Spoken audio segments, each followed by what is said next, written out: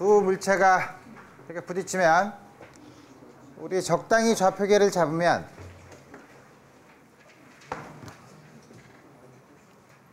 어떻게 하는 거지? 어. 적당히 좌표계를 잡으면 좌표계를 다시 말하면 관측자가 물체 이렇게 관측하는 회전을 적당히 하면 물체가 두 개가 부딪힐 테니까 다음과 같이 부딪히겠죠.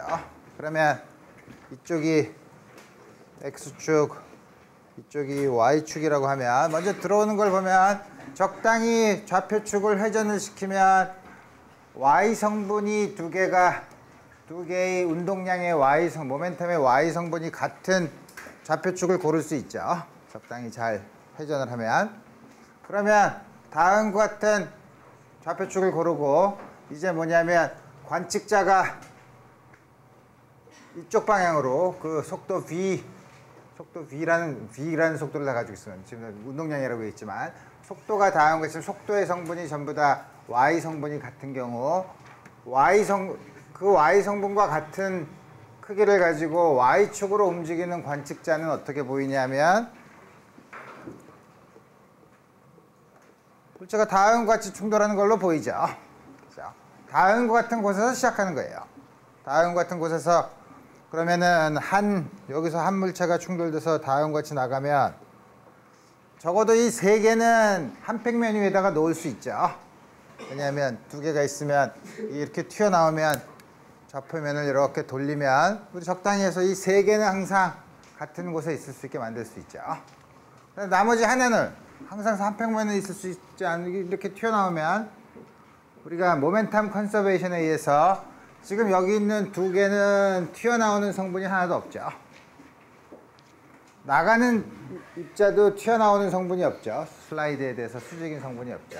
그럼 나오는 게 다른 두 번째 게 수직인 성분이 있다고 하면 이쪽 방향의 성분의 모멘텀이 보존이 되지 않죠. 이쪽 방향의 성분의 모멘텀이 보존이 되려면 이 세 개가 한 평면에 있으면 나머지 입자도 반드시 그 평면 위에서 나와야 된다 이거예요. 그래서 우리 3차원 충돌도 2차원 항상 좌표축을 적당히 잡으면 우리 항상 2차원 위에서의 충돌로 우리가 항상 생각할 수 있다는 거예요. 오케이. 그래서 우리 지난번에 컬리전의 종류 물론 다음 같은 여러 가지 종류에 상관없이 어떤 컬리전에서도 모멘텀은 보존이 되고 그 중에서 그러면 충돌 전과 후에 카이네틱 에너지가 보존이 되냐? 보존이 되는 경우를 일라스틱 컬리전 보존이 되지 않는 경우를 인일라스틱 컬리전이라고 얘기해요. 그 다음에 특별히 그 중에서도 토탈 인일라스틱 컬리전이라는 거면 두 물체가 딱 달라붙는 경우 그런 경우를 생각하는 거예요 그래서 우리 보면 여러분들이 항상 조심해야 될 건 뭐냐면 운동 에너지는 충돌의 종류에 따라 보존이 되거나 안 될 수 있지만 모멘텀, 모멘텀은 항상 보존이 된다는 거죠. 그래서 우리 다음과 같은 거를 염두에 두고 우리 처음부터 1차원부터 1차원, 2차원의 충돌을 우리 생각해 봅시다. 우리 제일 처음에 쉽게 생각하기 위해서 물론 처음부터 복잡하게 푸는 게 훨씬 더 좋나? 좀 쉽게 생각해 봅시다. 뭐냐면 1차원의 운동에서 처음에 M2라는 물체가 정지해 있고 쉽게 하기 위해서 M1이라는 물체가 V1I로 들어왔을 때 충돌한 후에 두 물체의 속도는 어떻게 될 거냐 하는 거예요. 당연히 충돌 전과 충돌 후에 운동 에너지가 같은 거, 그 다음에 당연히 모멘텀이 보존된다는 조건을 쓰면 되죠. 그래서 보면 1차원이니까 우리 쉬워요. 처음에 게 V2i가 0이었으니까 M1, V1i 이게 충돌 전의 모멘텀이죠. 충돌 후의 모멘텀은 V1f, M1, V2f, M2 두 개를 합한 거죠. 그래서 우리 이 식이 너무 복잡하게 안 복잡한가? 복, 하여튼 여기 super subscript가 1이 있는 걸 전부 다 왼쪽으로 넘겨요. 이걸 이쪽으로 넘기면 M1, V1i 빼기 V1f는 M2, V2f 다음 것이 주어져 있고 그 다음에 kinetic energy가 보존된다 그래서 이니셜 처음에 충돌 전에 kinetic energy는 다음과 같은 양 충돌에는 각각을 더한 거 이렇게 쓰고 나서 2분의 1은 다 없앨 수 있고 역시 또 귀찮으니까 one subscript가 one인 걸 전부 다 옮기면 m1 v1i 제곱 마이너스 v1f 제곱 이렇게 나오면 왠지 여러분들이 충실한 고등학교의 수학, 중학교의 수학 과정을 거쳤으면 이렇게 인수분해하고 싶어지죠. 다음과 같이 쓰고 오른쪽을 다음과 같이 쓰면 그래서 이렇게 쓰면 뭐가 좋은데 이 식이랑 두 개를 풀어야죠. 풀어야 되는데 아주 풀기 좋게 만들어 놨죠. 뭐냐면 이 식을 이 식으로 나누면 이게 싹 사라지죠. M2 B2F가. 그래서 뭐냐면 V1F는 어, 나눠주면 V1F, V1I 플러스 V1F는 V2F가 되죠. 그래서 이 식을 아무데나 집어넣으면 돼요. 뭐 예를 들면 여기다 집어넣으면 되죠. 여기다 집어넣으면 뭘 구할까? V1F를 먼저 구하고 싶으니까 V1F를 구하려면 이 식에서 V2F 대신에 이걸 집어넣으면 V1F를 구할 수 있죠. 이걸 집어넣으면 M1 V1I 뭘 구한다 그랬지? V1F를 구한다 그랬지? 는 M1 V1F 플러스 M2 V2F 대신에 V1I 플러스 V1F 그래서 V1F에 관해서 묶으면 M1 플러스 M2 V1F는 M1 마이너스 M2 V1I 그래서 우리 뭐냐면 양변을 M1 플러스 M2로 나누면 다음 같은 식을 구할 수 있죠. V2F는 이제 똑같은 짓을 할 수도 있지만 여기 V2F는 V1i에다가 V1f를 더하면 된다 그랬으니까 여기다가 V1i를 더하면 되죠. 그러니까 V1i를 묶으면 1을 여기다 1을 더 더하면 되는데 1은 M1 플러스 M2분의 1로 쓰면 분자에 M1 플러스 M2가 있으니까 M2는 서로 캔슬이 되고 2배 M1 그래서 2배 M1 M1 플러스 M2 V1i 그래서 우리가 처음에 얘기한 대로 식 미지수 두 개 V1f, V2f 그 다음에 식 두 개 그래서 우리가 처음 조건만 주어지면 충돌 후의 속도를 1차원 일라스틱 컬리전에서는 유일하게 결정할 수 있다는 거죠. 다음 같이 주어졌죠. 이렇게만 주어지고 그냥 어 문제 풀었다고 넘어가는 건 좋은 태도가 아니에요. 그리고 다음 같이 풀었으면 반드시 여러 가지 극한을 생각해 봐야 되죠. 극한이 뭐냐면 같은 질량이면 같은 질량이면 이거는 0이죠. 같은 질량이면 이게 1이죠. 그게 무슨 뜻이에요? 정지하고 있는 거에 물체가 와서 땅 부딪히면 이건 정지하고 이게 똑같은 속도로 간다는 거죠. 여러분들 어릴 때 심심하거나 고등학교 때 자습 시간에 정말 심심하면 주머니에 동전이 여러 개가 있으면 동전을 끄집어내서 그런 짓 안 해보나?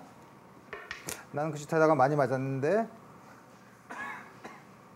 그러니까 동전을 이렇게 놓고 책상 위에서 하나를 툭 치면 10원짜리 동전을 놓고 이거 많이 경험해요. 물론 밑에 마찰이 있긴 하지만 이렇게 가죠. 이거, 이거만 하지 않고 심심하니까 또 하나 더 붙여놓죠. 그리고 탁 치면 어떻게 될까? 요건 가만히 있고 와서 딱 쓰고 이게 똑같은 속도로 나가. 하나만 나가요. 오 그래? 점점 재밌어지는데 세 개를 놓고 하면 하나를 여기서 딱 치면 하나가 나가요.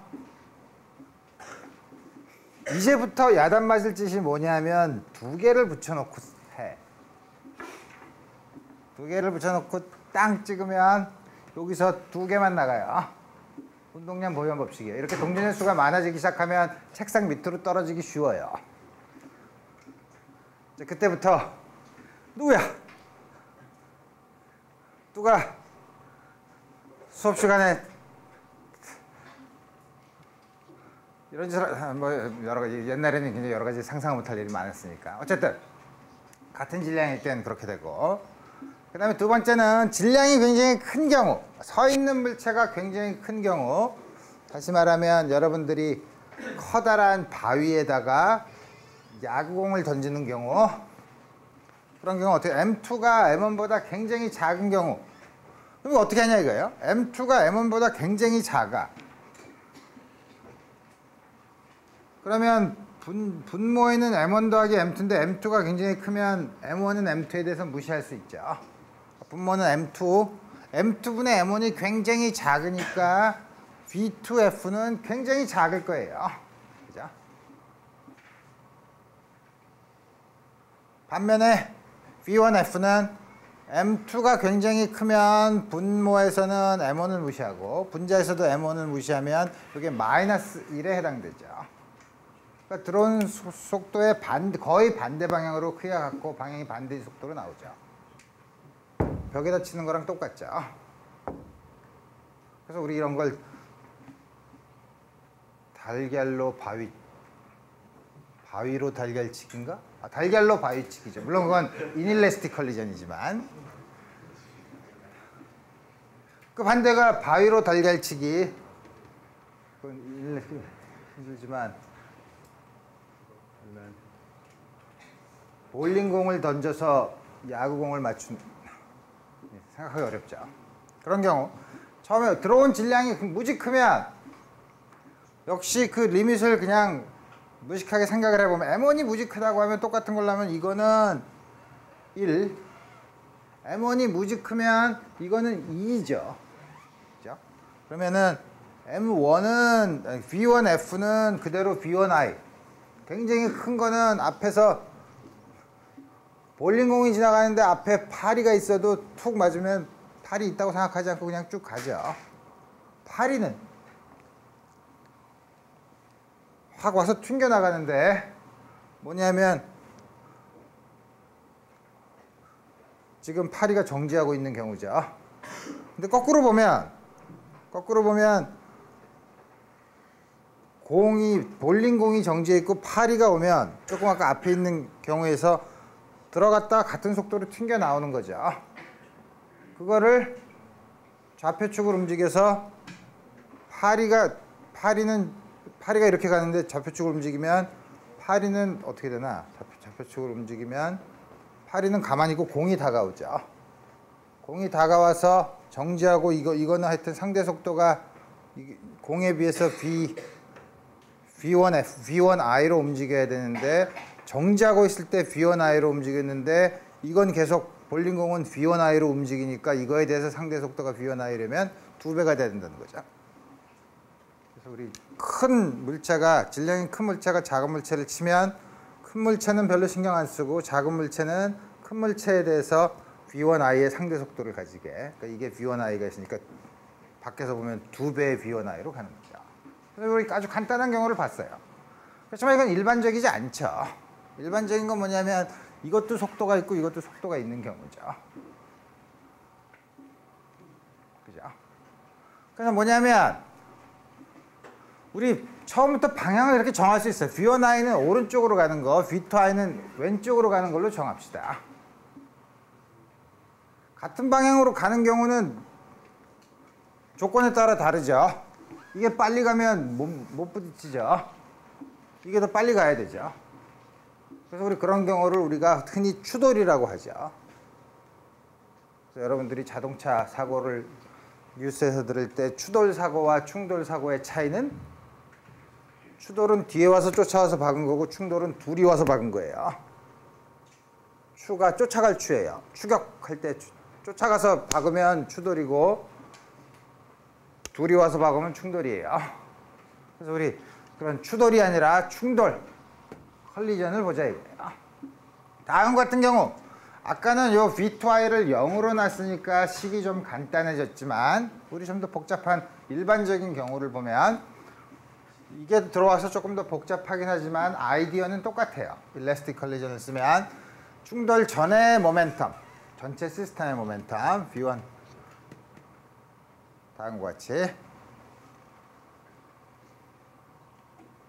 물론 이렇게 오지만 지금 우리 방향을 다 생각해야 되죠. M1 다음과 같이 돼 있고 그 다음에 충돌한 다음에는 이게 어떻게 되나? 오케이 우리 저 이 안에 있는 벡터라고 생각을 하면 되니까 충돌 후에를 V1F, V2F라고 하면 충돌 후의 운동량 요게 더 있어서 요게 더 있어서 귀찮긴 하지만 우리 subscript가 one인 거를 전부 다 왼쪽, two인 거를 전부 다 오른쪽. 왜 이렇게 하는지 아까 그렇게 하면 왠지 쉬워 보인다 그랬죠. 자, M1을 전부 다 옮기면 M1 V1I 빼기 V1F는 M 마이너스 M2 V, V2I를 먼저 끄집어내면 마이너스 M2 V2I 빼기 V, V2F 다음 거에 쓸 수 있다. 역시 카이네틱, 일러스틱 컬리전이면 카이네틱 에너지가 보존되니까 컬리전 전에 카이네틱 에너지, 컬리전 후에 카이네틱 에너지 2분의 1을 전부 다 없애고 양변에다 2를 곱한 다음에 역시 또 M1에 해당되는 걸 전부 다 왼쪽으로 보내니까 M1 V1I square 빼기 V1F square 역시 인수분해하면 다음과 같이 되고 이쪽은 이걸 넘기면 마이너스니까 마이너스 M2로 묶어내면 V2I 제곱 빼기 V2F 제곱이죠. 자, 마이너스 M2 V2I 제곱 빼기 V2F의 제곱으로 썼어요. 왜 이렇게 썼냐? 아까 한 거랑 똑같죠? 이 식을 이 식으로 나누면 요거 없어지고 요거 없어지죠. 그래서 남는 게 뭐냐면 뭐가 남지? V1 어, 나누면 V1I 플러스 V1F는 V2I 플러스 V2F 굉장히 재밌는 결과를 얻을 수 있어요. 그러면 이제 어떡하나 아무 식에나 한 식에다 집어넣어서 우리 뭐냐면 V1i랑 V2i는 알고 M1, M2도 알고 V1f, V2f를 구하는 건데 V1f가 있으니까 V1f부터 구해볼까? V1f를 구하려면 이 식에다가 V2f 대신에 저걸 집어넣으면 되죠. 좀 복잡하긴 하지만 우리 집어넣으면 M1 요게 M1 V1f 더하기 M2 V2F가 뭐냐면 V1I, V1F 마이너스 V2I니까. 우리 이것도 V1F로 묶으면 V1F로 묶으면 M1 플러스 M2 그 다음에 나머지가 M2 V1I 마이너스 M2 V2I 그래서 보면 M2, B2I가 여기 있고 여긴 두 배네. 이게 마이너스 사인이죠. 그래서 보면 이걸 간단히 쓰면 어떻게 하는 거야? 헷갈리네. V1, M1, M2 요걸 쓴 거죠. 요게 그거죠. 요거랑 보면 V1F는 M1 더하기 M2로 나눠주고 그 다음에 요 식이랑 비교해보면 B1i에 비례하는 양은 여기서 이걸 빼주면 되죠. M1 빼기 M2죠. 자, M1 빼기 M2 어디다 써야지? M1 빼기 M2 B1i 그 다음에 나머지는 M2 B2i 여기는 마이너스 M2 B2i니까 돌아오 왼쪽으로 오면 2배 M2 플러스 2배 M2 M1 플러스 M2 B2I 그래서 우리 요 첫 번째 식을 구했죠. 물론 조금 더 복잡하긴 했지만 우리가 쉽게 확인할 수 있는 건 B2I가 0인 경우 우리가 아까 그 식으로 돌아간다는 사실을 알 수 있어요. 그 다음에 B 아닌가? 맞죠? B2F는 어떻게 구하나? 아, 자리가 없네. 위에다가 쓰면 되죠. B2F는 위에서 뭐라 그랬냐면 요식을 쓰면 되니까.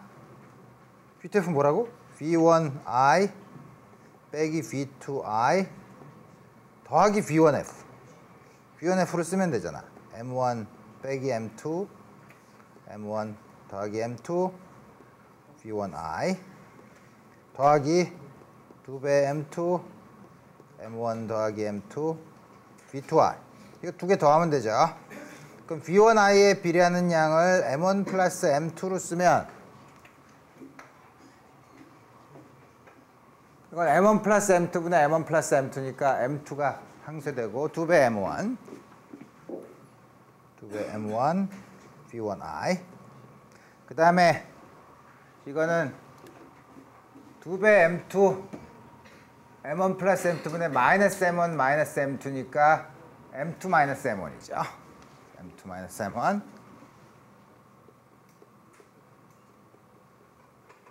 m2 마이너스 m1 v2i 그래서 우리 다음과 같이 복잡하긴 하지만 우리 다음과 같은 식을 우리 얻을 수 있다 이거예요.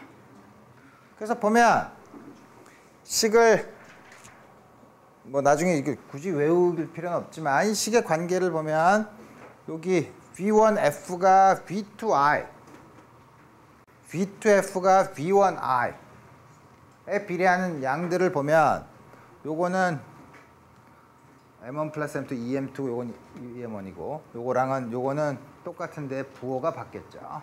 그 관계를 우리 잘 보면 우리 앞으로 이제 이 식을 계속 쓸 건가 봅시다. 자, 그래서 우리 예를 들어 봅시다. 로켓이 날아가다가 뒤에 화물칸을 쑥 뒤로 쑥 가다가 VI로 가다가 뒤에 있는 화물칸이 툭 튀어나왔어요. 큰일이죠. 다음 같은 경우에는 로켓인 경우에는 주위에 아무 external force가 없기 때문에 툭 튀어나와도 항상 작용 반작용의 쌍이기 때문에 이 경우에는 튀어나오기 전과 튀어나온 후에 momentum이 보존이 돼요. 충돌이라고 하긴 어렵지만 툭 튀어나오는 거죠. 그런 경우 첫 번째 로켓 전체 로켓의 질량을 m. 처음의 속도가 처음에 로켓의 속도가 다음과 같이. 그 다음에 이 나온 화물칸이 전체 m의 20% 0.2m 로켓이 0.8m 마지막 속도는 로켓의 마지막 속도는 다음과 같이 주어지고 뒤로 냈으니 마치 연료를 뿜어낸 것 같으니까 속도가 더 커지고 그 다음에 뭘 주어졌냐 하면 relative velocity. 뭐냐면 조종사가 가다가 어 내가 빨라졌네? 화물이 또 멀어져 가네? 화물이 나한테서 얼마나 멀어져 가지? 하고 잰 게 relative velocity예요. relative velocity가 다음과 같이 주어졌다 이거예요. 이 경우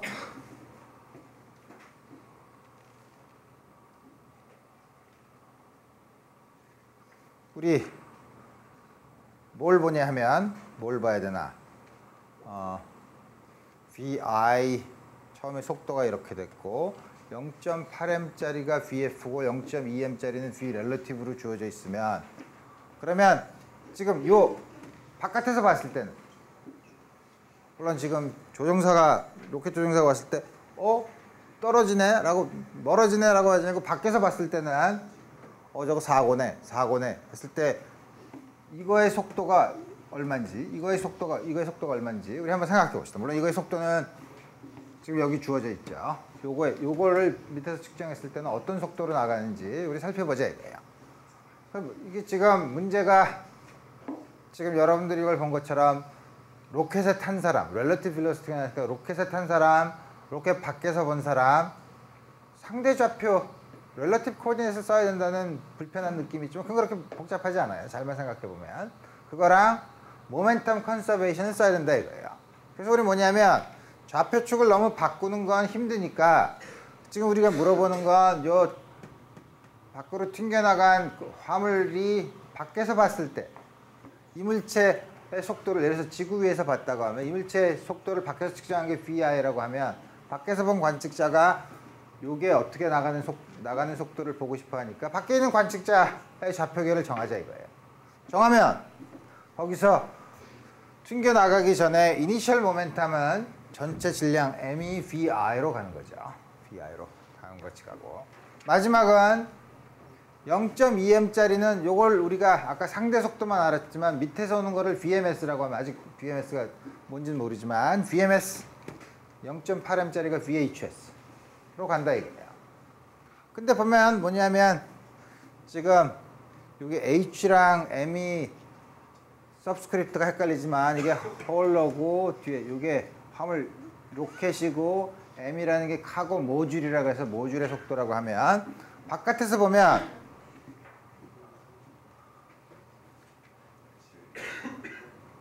이 속, 로켓의 속도는 화물칸의 속도에서보다 화물칸에 화물칸에 타고 있는 사람이 혹은 밖에서 보면 화물칸에 있는 속도보다 이만큼 더 빠르죠. 그죠? relative velocity가 주어져 있으니까. 그래서 우리 뭐냐면 relative velocity를 주어주면 그 다음에 로켓의 속도를 알면 나오는 속도는 다음 같은 관계가 있어요. 그래서 우리 이걸 집어넣어주면 여기다가 그거 대신 이걸 집어넣어주면 그러면 이 스피드가 얼마로 주어지냐면 다음과 VI를 우리 다음과 같이 볼 수 있죠. relative velocity랑 이 사이의 관계가 어떻게 되는지 우리 쉽게 볼 수 있어요. 이건 충돌이 아니지만 우리 다음 같은 경우에도 갈라지는 순간 뭐더라? 외부에서 작용한 힘이 없고 작용 반작용의 쌍으로 로켓과 화물이 받은 힘이 크기가 같고 방향이 반대이기 때문에 넷 포스가 없어서 작용되는 그 우리가 모멘텀 컨서베이션을 이용하는 경우죠. 자, 이 경우는 대포를 쏘는 거예요. 대포를 쏠 때 물론 이걸 밑에다 꽝 박아놓고 하면 대포가 툭 나가면 붙어 있으니까 지구 전체가 밀려 나가는 거니까 그냥 고정돼 있지만 이 밑에가 마찰이 없는 곳에 이렇게 바퀴가 있는 곳에 다음과 같이 주어져 있다고 칩시다. 여기서 처음에 두 개가 정지하고 있는데 여기서 질량 m짜리 대포가 small m짜리 포탄을 다음과 같이 쐈다고 쳐봅시다. 물론 대포의 질량, 포탄의 질량, 그러면 나가는 속도가 다음과 같이 주어지는 경우. 나가는 속도가 주어진다고 할 때 나가는 속도가 뭔가?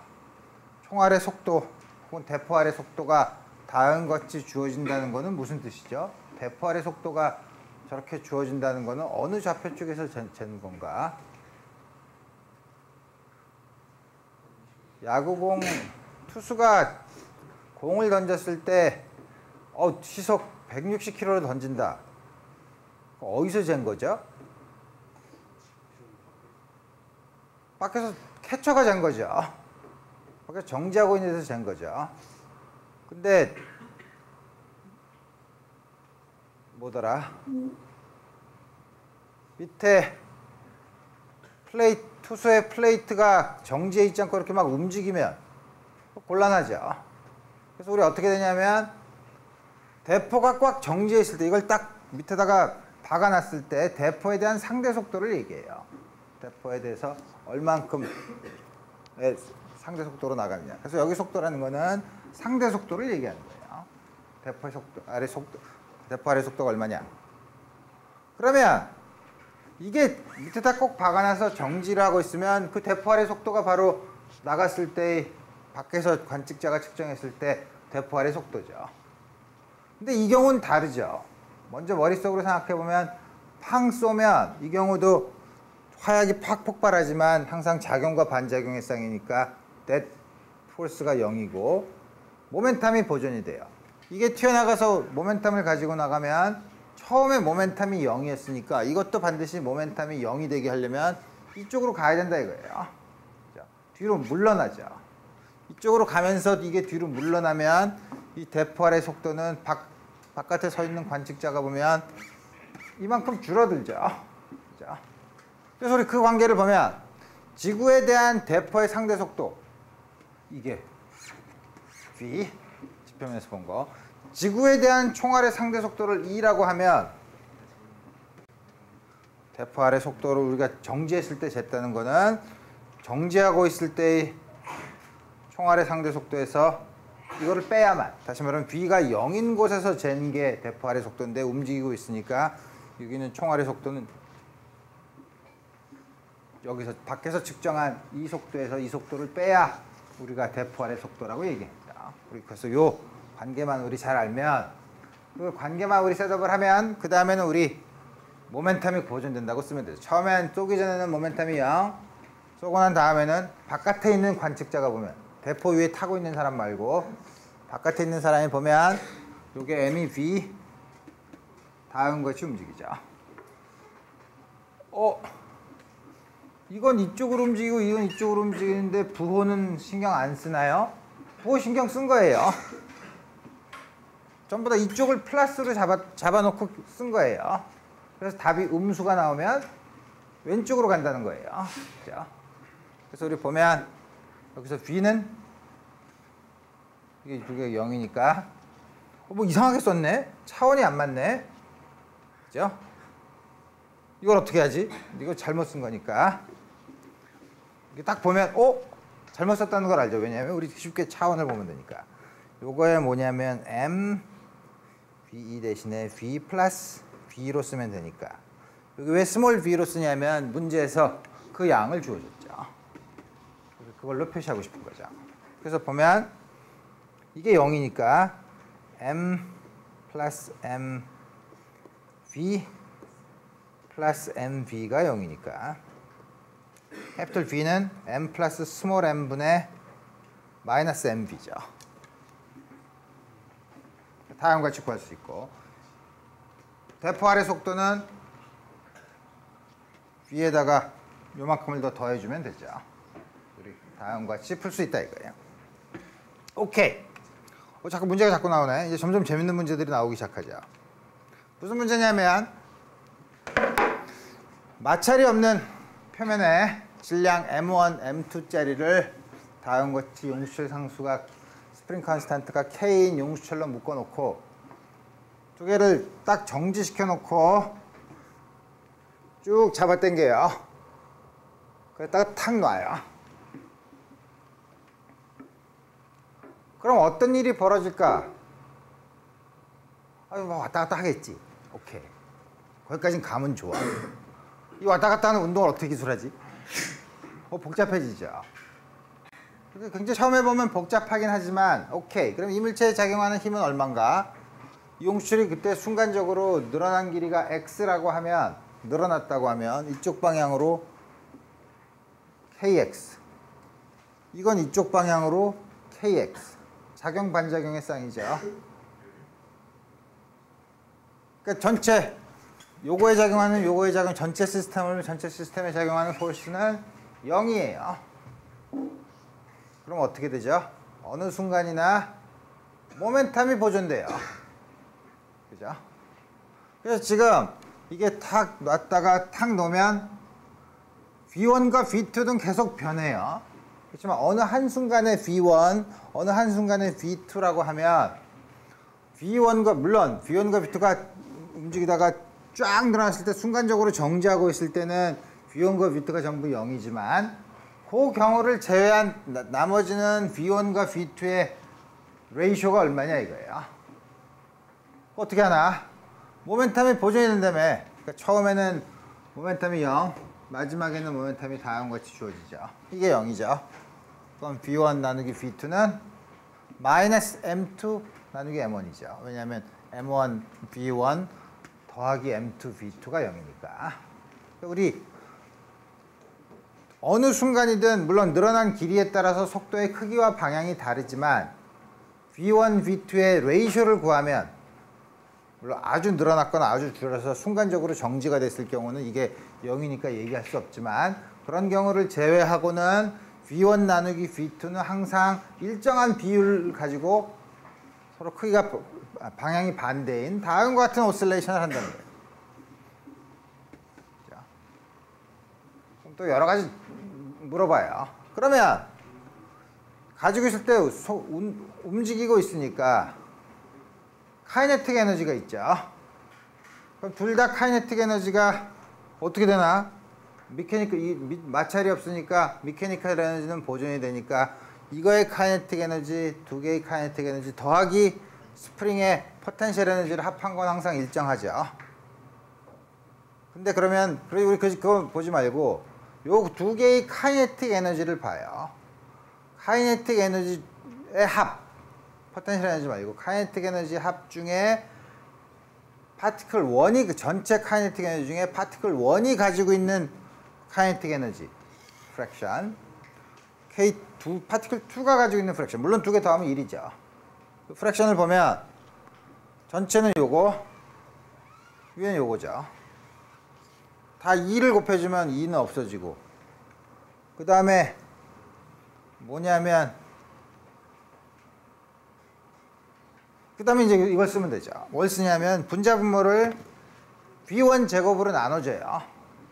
B2 제곱으로 나눠, B2 제곱? 아무거나 나눠, B1 제곱으로 나눠줘 봅시다. 그러면 B1 제곱 나눠주면 M1, M1, M2, 뭘로 나눠준다 그랬지? B1 제곱으로 나눠준다 그랬죠? B2의 제곱이죠. 이 양은 언제나 요거 역수로 역수의 제곱으로 주어지죠.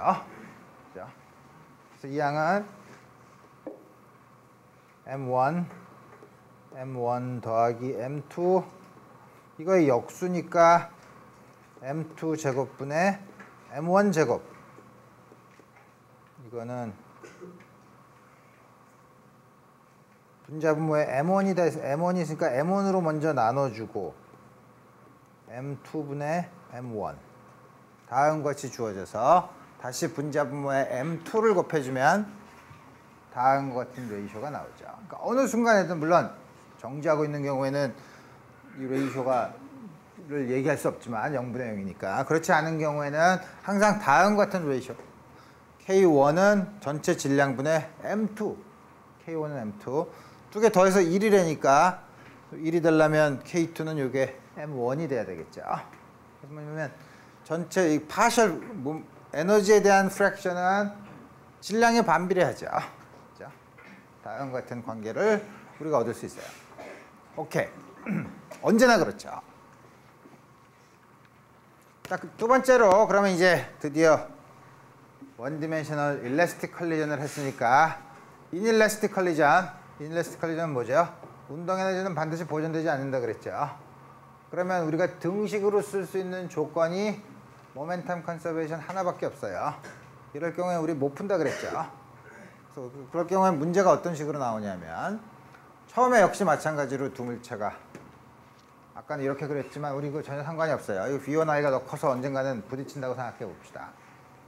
그림을 보면 마치 추돌을 하는 것처럼 보이죠. 그래서 보면 충돌 후가 V1F, V2F가 됐다고 하면 물론 모멘텀은 보존이 돼요.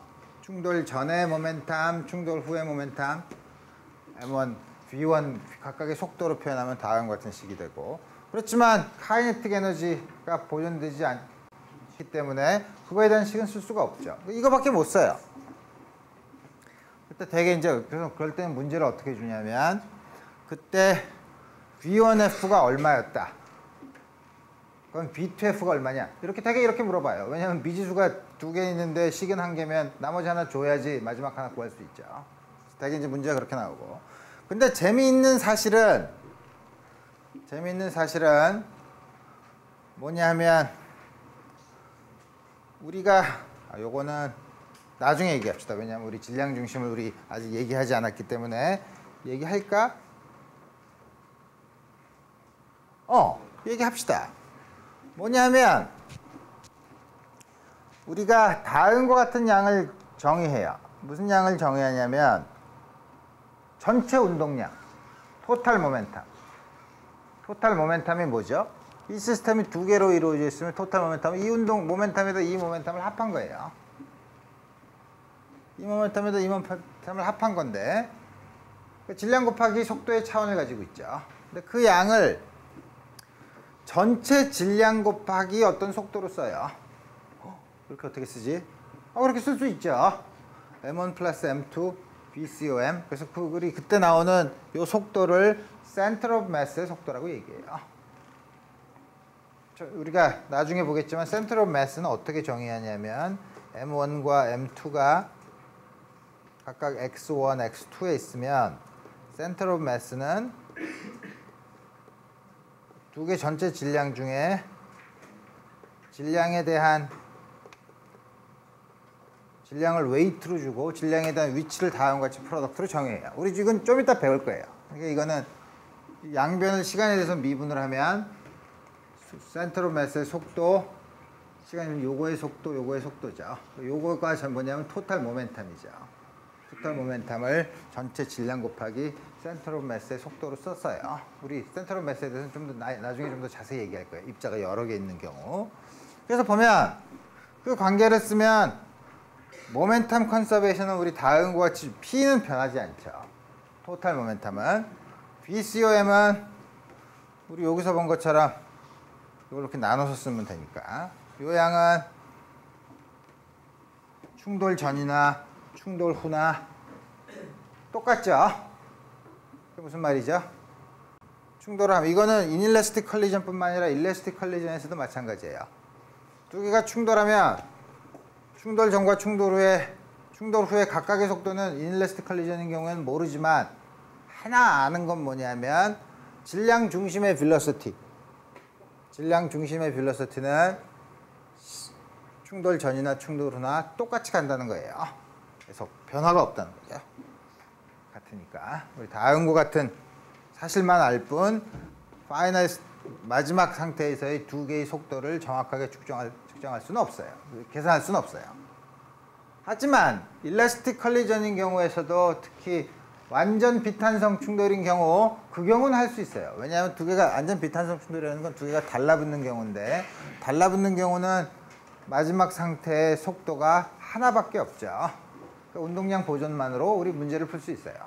그래서 보면 처음에 우리 쉽게 생각하기에 이게 정지하고 있다고 하면 물론 이게 움직이는 경우도 우리 생각할 수 있지만 정지하고 있다고 하면 처음에 V1I라는 게 와서 딱 달라붙어서 capital V로 움직, 움직인다고 칩시다.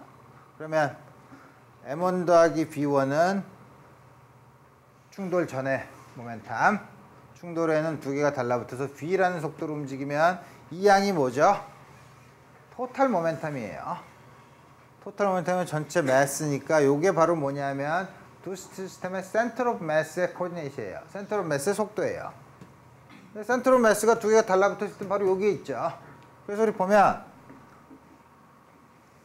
물체가 여기 있으면서 이렇게 쭉 이게 다가오면 아까 center of mass가 어떻게 정의되어 있었냐면 다음과 같이 정의되어 있으니까 요거는 x1과 x2 사이에 있어요. 왜냐하면 요게 m1 플러스 m2분의 m1은 1보다 작고 요것도 1보다 작으니까 x1과 x2에다가 앞에다 적당히 1보다 작은 양을 더해주면 x1과 x2 사이에 있는 거죠. x1과 x2 사이에 있는데 x1과 x2 사이에 이렇게 있는데 이게 다가오면 매스 속도가 이렇게 있지만 이건 항상 일정한데 붙 어도 계속 똑같은 속도로 움직인다는 거죠. 여기서 오는 센트럴 매스의 속도가 충돌 후에서도 계속 똑같은 센트럴 매스의 속도로 간다는 거예요. 그래서 보면 이 센트럴 매스의 속도라는 거를 걱정하지 않아도 우리 다음과 같은 모멘텀 컨서베이션에서 충돌 후에 속도를 계산할 수 있죠. 다음과 같이 속도를 계산 속도를 보면 v1i보다는 물론 작아지죠. 같이 그래서 뭐냐면 완전 비탄성 충돌일 때 또 여러분들한테 물어보는 게 많아요. 역학적 에너지가 얼마나 줄어들었냐? 우리 이런 거 물어볼 수 있죠. 완전 비탄성 충돌이면 에너지가 줄어든 다음에 그러면 후에는 2분의 1 m1 플러스 델타 역학적 에너지는 m2 V의 제곱 m1 V1 I의 제곱 이거 계산해 볼 수 있죠. 그 에너지가 얼마가 되냐면 이 V제곱이 이렇게 되니까 2배 M1 플러스 M2분의 제곱을 하니까 밑에 하나 더 있으니까 상쇄가 되고 M1 제곱 V1 제곱 빼기 2분의 1 M1 V1 I의 제곱 그래서 우리 이걸 좀 더 간단히 쓰면 어떻게 간단히 쓸까? 2배 M1 플러스 M2로 묶어내면 M1 제곱 빼기 m1, m1 플러스 m2, v1i의 제곱이죠. 그래서 여기 요게 상쇄가 되고 마이너스 m1, m2, 2배 m1 플러스 m2, v1i 제곱. 다음과 같이 주어지죠. 완전 비탄성 충돌일 때는 역학적 에너지가 얼마가 차이가 나? 델타 E가 내가 사실 거꾸로 마지막 상태 에너지, 처음 상태 에너지, 음수죠. 처음 상태 에너지가 더 커요. 그러니까 나중에 어떤 형태로든 에너지를 잃었다는 거죠. 에너지를 잃은 건 여러 가지가 있을 수 있어요. 뭐냐면 충돌을 하면서 분자의 운동을 크게 해서 온도가 올라가게 할 수 있거나 딱 달라붙으면서 아니면 달라붙는 붙는다는 거는 물체의 모양이 변형되지 않고는 달라붙지 않죠. 물체가 이렇게 변형되면서 달라붙으면서 물체가 변하면서 내부 에너지를 변하거나 아니면 두 개가 달라붙으면서 쪽 소리 에너지로 나가거나 어떤 형태로든 역학적 에너지가 다른 형태의 에너지로 바뀌어서 나간다는 걸 뜻해요. 오케이. 그래서 지금까지 이런 충돌을 배우면 문제만 기본적인 아이디어만 가지고 있으면 재미없으니까 여러 문제를 생각해 보자 이거예요. 그 중에 하나가 ballistic pendulum이에요.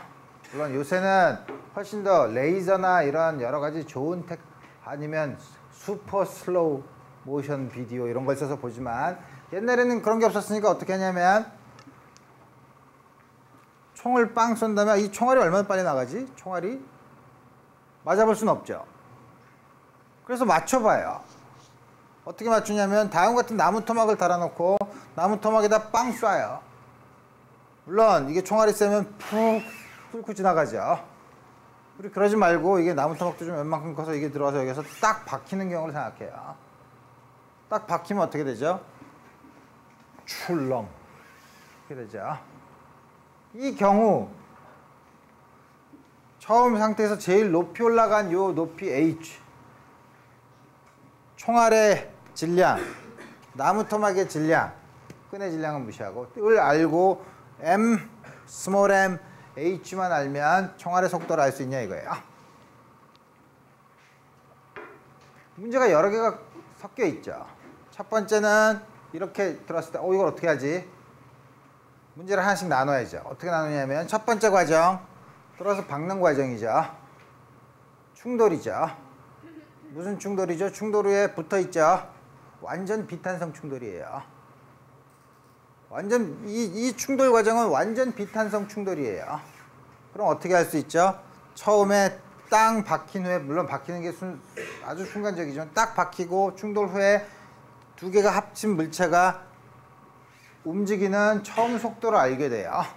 자, 처음 속도를 알게 되면 그 다음에는 이건 뭐냐면 pendulum 문제예요. 자, 그 다음에는 이 시스템은 여기 있을 때나 여기 있을 때나 mechanical 에너지가 보존되죠. 어떻게? 여기서는 운동 에너지랑 중력에 의한 potential 에너지가 있고 제일 높이 올라갔을 때 여기서는 요 점을 중, 중, 중력 potential 에너지 기준점으로 잡으면 중, potential 에너지는 없고 운동 에너지만 있지만 이렇게 쭉 올라가면 중력 potential 에너지는 있지만 제일 높이 올라갔을 때는 정지하고 있으니까 kinetic 에너지가 없죠. 그러니까 요 올라가는 과정은 역학적 에너지 보존 법칙을 쓰면 된다 이거예요. 두 개 결합하면 돼요. 첫 번째 완전 비탄성 충돌 조금 아까 구했죠. m 곱하기 v는 충돌의 속도를 v라고 하면 전체 붙어 있는 게 v니까 속도를 구할 수 있고 그 다음에 여기서 역학적 에너지는 두 개 있었을 테니까 다음 양 요만큼 올라갔다며 높이가 질량 중심의 위치가 이만큼 올라갔으니까 다음 양 그래서 우리 이걸 풀면 m 플러스 m은 상관없네. 그러면 2분의 1 m제곱 m 플러스 m의 제곱 v제곱은 gh v제곱은 2배의 gh 거꾸로 거꾸로 써야 되는데 어떻게 쓰지? m 스퀘어 루트 다음과 같이 쓰면 되죠. 그래서 우리 어? 스퀘어 루트를 잘못 썼죠. 요거 표식이 돼. 우리 다음과 같이 구할 수 있다 이거예요. 그래서 문제를 보면 그 스테 그 어디에서 충돌을 적용할 것인가, 어디에서 역학적 에너지가 보존될 것인가 하는 것을 생각해 보면 돼요.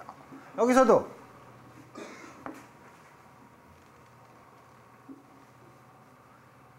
이 M2라는 물체가 이렇게 정지해 있고 M1이라는 물체를 H1만큼 들은 다음에 여기서 탁 놨어요. 어떤 일이 벌어질까? 땅, 박, 이렇게 부딪히죠. 다음과 같이 부딪히는 충돌이 일레스틱 컬리전이라고 해봅시다. 일레스틱 컬리전이라고 했을 때 물어보는 문제 여러 가지 있을 수 있어요. 첫 번째, 이 물체는 어디까지 올라가니? 똑같은 문제를 많이 물어볼 수 있죠. 그 다음에 이건 처음에 한번 딱 박은 다음에 튀어나오는 속도가 얼마냐고 물어볼 수 있죠. 조금 더 복잡하게 하면 이게 토털리 이닐레스틱 완전 비탄성 충돌이면 여기까지 땅 부딪혀서 올라가는 게 얼마나 올라가니? 라고 물어볼 수 있죠. total inelastic scattering, total inelastic collision인 경우에는 여기 와서 붙어서 이렇게 올라가는 거는 아까랑 비슷해요.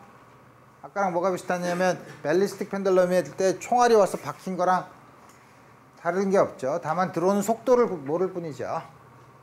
그럼 여기서 충돌 과정인데 충돌 과정에서 그러면 어떻게 되죠? 여기서 충돌 전에 이건 정지해 있고 충돌하기 전에 바로 저는 여기까지 왔을 때 이거에 오는 속도를 구해야 되는데 이 속도는 어떻게 구하나? 여기까지 여기까지 오는 시스템에서는 역학적 에너지가 보존되죠. 여기 이걸 중력의 potential 에너지 기준점으로 잡으면 여기 있던 potential 에너지가 전부 다 운동 에너지로 왔죠. 여기서 속도를 구할 수 있어요. 어떻게 구할 수 있죠? M1 GH는 2분의 1 M1 V1I의 제곱. 그래서 V1I는 2배 GH1 다음과 같은 속도로 0.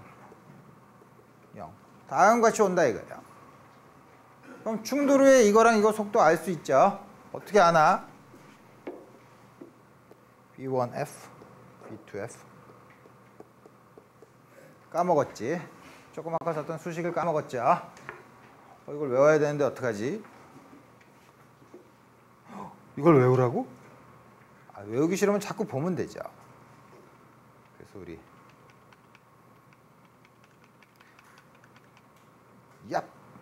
어, 됐죠. 질량의 차이 됐죠? 기억나죠? 이제 슬라이드를 돌리면 기억이 계속 날지 몰라. 자, V1F는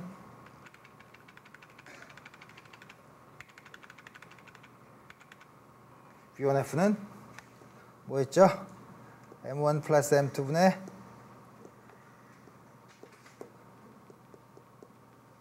기억 안 나죠? 이거는 M1 마이너스 M2였던 것 같은데 이건 두배 M1이었던 것 같죠? 그래서 내가 이 태블릿 PC를 노트북으로도 태블릿 PC를 처음에 어, 야, 좋겠다. 나는 계산을 많이 하는데 종이를 자꾸 잃어버리고 순서가 헷갈리니까 태블릿 PC에다가 잘 써서 쭉 하면 저장이 잘 되고 좋잖아.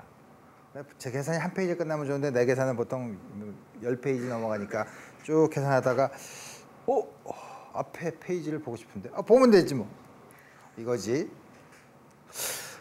내가 뭘 썼더라 그래서 이걸 왔다 갔다 왔다 갔다 하다 신경질 나서 포기를 한 좀 여러분 여러분들은 아직 훨씬 더 기억력이 좋으니까 어쨌든 다음과 같이 구할 수 있죠. 그러면 V1F는 구했어요. 다음과 같이 주어진다는 거죠. V1 여기다 V1I 대신에 요거만 집어넣으면 되죠. 요거의 처음 나가는 속도는 요거예요. 자, 다시 쓰면 EM1 M2 뭐지? V2 대신에 요걸 쓰면 2배 GH1 어디까지 올라갈 거냐고 물어보면 일단 어떡하죠? 역시 여기서 mechanical 에너지가 보존이 되죠. 여기 있을 때 kinetic 에너지가 제일 높이 왔을 때 전부 다 중력 potential 에너지로 됐다고 하면 M2짜리가 GH2라고 하면 H2를 구할 수 있죠. 이렇게만 하면 재미없고 또 역시 여러 가지 경우를 생각해 봐야 되는데 M1과 M2가 같으면 땅, 땅 이런 장난감 본 적 있죠? 못 봤나? 인생의 경험이 많지 않아서 그런가? 여러 개 있는 경우 하나 땅 넣으면 맨 끝에 게 하나 땅. 두개 놓으면 두 개. 옛날에 했던데 선생님한테 꿀밤을 맞아가면서 했던 동전 실험과 비슷한 경우죠. 다음과 같이. 오? 여기 이때 나오면 안 되는데 어쨌든 우리 다 풀었죠. 오케이. 그래서 우리 1차원의 충돌은 다 봤으니까 2차원의 충돌을 보는데 2차원의 충돌은 다시 한번 여러분들한테 remind를 하면 임의의 충돌은 그게 3차원에서 일어나도 우리가 항상 2차원의 충돌로 바- 적당한 좌표 관측자의 좌, 그 좌표축을 잡으면 항상 2차원에서의 충돌로 바꿀 수 있다 그랬어요.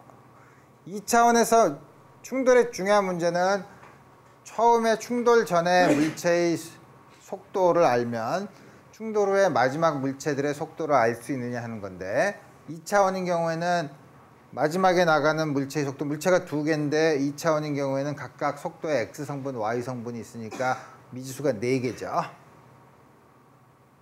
그다음에 처음 주- 주어진 조건은 주어진 처음 조건이 네 개를 주죠. 하나의 한 입자의 x 성분, y 성분, 다른 입자의 속도의 x 성분, y 성분을 주고 나갔을 때 미지수가 네 개죠. 모멘텀 컨서베이션은 벡터에 대한 이퀘이션이니까 식세개 주죠. 아, 세 개인가? 2차원이니까 두 개죠. 왜냐하면 그게 수직인 방향으로 하니까 두 개. 그 다음에 일레스틱 컬리전인 경우에는 운동 에너지 때문에 식을 하나 더 줘요. 그렇지만 미지수는 네 개죠. 하나 못 푼다는 거예요. 우리 그걸 염두에다 두고 보면. 그래서 우리 보면 M2 물론 이것도 움직이고 있는 경우에는 1차원에서도 움직이는 게 조금 더 복잡해졌지만 그래서 우리 쉽게 생각해 봅시다. 정지해 있고 다음과 같이 오면 V1i가 V 충돌해서 V1f M2짜리가 V2f 이렇게 나갈 때 조금 아까 본 것처럼 요거의 X성분, Y성분, 요거의 X성분, Y성분 혹은 X축에서부터의 튕겨나간 각도를 세타, M1은 세타 1, 세타 2라고 하면 요 속도의 크기 각각의 각도를 주어줘도 변수는 역시 미지수는 네 개죠. 자, 네. 어떻게 좌표를 잡 어떻게 우리가 이걸 우리가 polar coordination이라고 하는데 좌표를 극좌표를 잡든 x, y Cartesian coordinate를 잡든 미지수의 개수는 변하지 않아요. 네 개라 이거예요. 독립적인 개수 탄성 충돌인 경우에는 아까처럼 식이 세 개이기 때문에 하나 비탄성 충돌인 경우는 kinetic 에너지 conservation이었기 때문에 momentum conservation 나오는 거 두 개. 우. 탄성 충돌인 경우에는 어떻게 하냐면 X 성분의 운동량 충돌하기 전에 M1 V1 충돌 후에는 요거의 X 성분 M1 V1F 코사인 테타 1 M2 V2F 코사인 테타 2 Y축의 성분은 처음엔 0 이거는 M2 V2 사인 테타 2 M1 V1 사인 테타 1인데 부호가 반대죠. elastic collision인 경우에는 initial state 처음 상태의 kinetic 에너지 마지막 상태의 kinetic 에너지 식 세 개가 주어진다는 게 바로 다음 같은 게 주어지는 거죠. 그래서 뭐냐면 탄성 충돌 elastic collision일 경우에는 미지수가 하나 남는 거 모르는 거 비탄 inelastic collision일 경우는 둘 왜냐하면 이 식이 없으니까 그렇지만 완전 비탄성 충돌일 때는 두 개가 붙어서 가는 거니까 미지수가 두 개죠. 두 개인데 식이 이건 쓸 수 없지만 X 성분, Y 성분에 대한 momentum conservation이 있으니까 식도 두 개, 미지수 두 개니까 이때는 풀 수 있죠. 모르는. 그러니까 다음 같은 경우에는 다른 값들을 두 개를 줘요. 이건 두 개를 주고 한 개를 주고 나머지를 구하라고 얘기해요, 보통. 그래서 우리 뭐냐면 MA짜리가 X축의 평행한 방향으로 VA라는 속도로 오고 MB짜리가 VB로 오고 두 개가 와서 부딪혀서 딱 달라붙어서 다시 말하면 서로 씹고 나서 뱉은 껌을 양쪽에서 툭 뱉어가지고 붙어서 이렇게 가는 경우죠. 훨씬 어려워 보이죠? 그죠? 여러분들이 요즘은 북한에 도발 가능성이 많다 그러면서 TV에서 보여줬을 때 뭐 대포사 비행기에서 포탄 사격 훈련 아니면 비행기끼리 싸우는 훈련 뭐 이런 거 하죠. 비행기를 날아다닐 때 한쪽에서 다른 쪽 맞추기가 훨씬 더 어려워요. 그죠? 왜? 바닥에 있는 거는 1차원 평면에서 맞추는 거죠. 미지수의 개수가 달라져요. 위에서는 미지수의 개수가 훨씬 더 많아요. 미지수의 개수가 많으면 많을수록 정확도는 떨어져요. 훨씬 더 힘들죠. 어쨌든 그 내가 무슨 말 얘기한 두개 부딪히기 어렵죠. 조건을 잘 맞춰줘야지 부딪히죠. 여기서 맞추게 하려면 어쨌든 그렇게 잘 맞춰서 딱 붙어서 이렇게 간다고 칩시다. 이 속도가 얼마냐 이거야. 완전 비탄성 충돌일 경우에는 구할 수 있다고 했어요. 어떻게? 오케이. 이게 다 날아가는 속도가 위에 크기가 있고 각도를 세타라고 하지 뭐. x축에 대해서 세타라고 하고. 완전 비탄성 충돌이나 어느 경우든 center of mass는 똑같은 속도로 움직인다고 했어요. 물론 붙어서 갔을 땐 center of mass의 속도가 바로 이거죠. 바로 물체의 속도죠. 이게 이렇게 갔으면 전에서도 전에도부터 계속 똑같은 속도로 이렇게 온다는 뜻이에요. 당연히 이 두 물체의 of mass의 velocity는 이렇게 이 속도랑 같은 거죠. 그리고 그건 생각할 필요 없이 어쨌든 momentum conservation을 보면 2차원이니까 x축 방향 충돌하기 전엔 이거밖에 없죠. MAVA 충돌한 후에는 전체 질량 large m을 두 개를 더한 거라고 하면 large m v 코사인 테타죠. y축 방향의 모멘텀 이거밖에 없죠. MBVA, VB 충돌하기 전에 충돌한 후에는 MV 사인 테타. 미지수가 하나, 둘, 식이 두 개죠.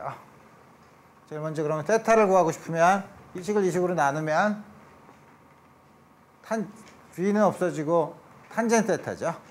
탄젠 테타는 이 식을 이 식으로 나누면 맞죠. MAVA분의 MBV. V는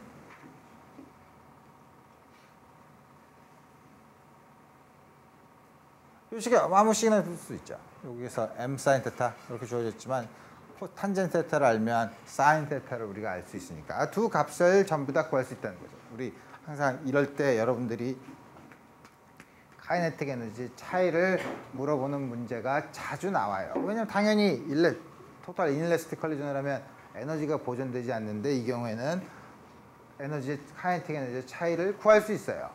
왜냐면 final state velocity를 아니까. 오케이.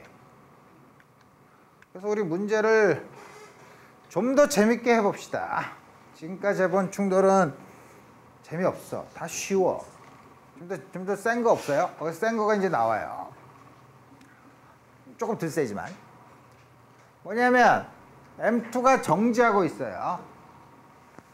M1이 와서 땅 박아요. 근데 somehow M1이 좀 커서 M2보다 충돌한 다음에도 이렇게 간다고 칩시다. M2는 더 빨리 가죠. 여기서 탕 박아서 물론 용수철이 없어도 돼요. 벽과 탄성 충돌한다고 생각하면 돼요. 탕 받고 이렇게 오죠. 그럼 처음에 땅 받고 와서 여기 와서 탕, 탕 튕기고 와서 두 번째 또 박죠. 그죠? 그러면 첫 번째 충돌한 다음에 얼만큼 가서 두 번째 충돌이 있겠냐 하는 거예요.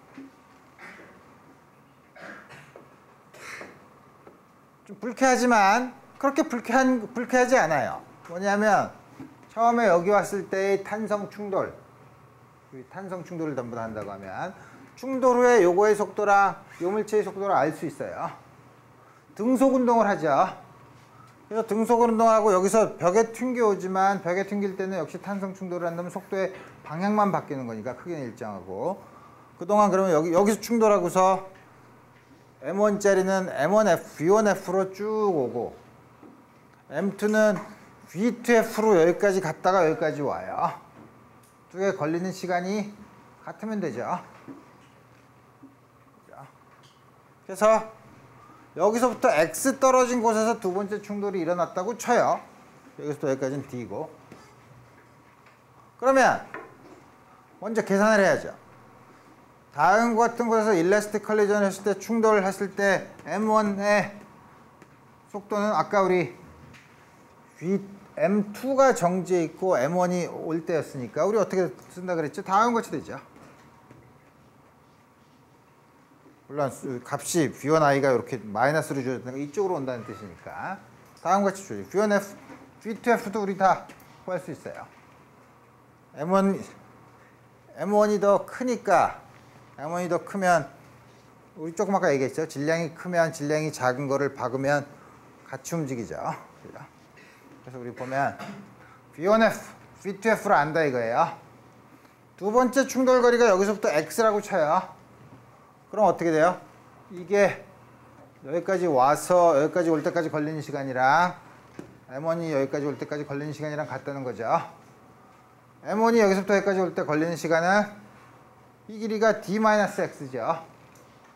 D-X를 V1F로 나누면 되고 M2짜리는 D 더하기 X죠. D 더하기 X를 V2F로 나눈 게 같으면 되죠. 이 방정식 풀면 돼요. X에 대한 1차 방정식이죠. 위에 있는 V1F, V2F를 집어넣으면 X를 우리 풀 수 있죠. 오케이. 계속 예제가 나오네.